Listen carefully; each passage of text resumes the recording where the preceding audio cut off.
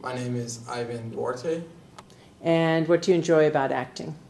Uh, I just enjoy um, just like playing as other characters and see how like their life is. You, know, you can play like a different life in different scenes. And is there, uh, do you have an actor that you really admire? No, not really. Okay. Uh, is there a movie that you like or a director?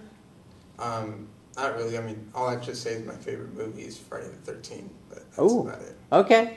All right. Great. Thank you very much. Thank you.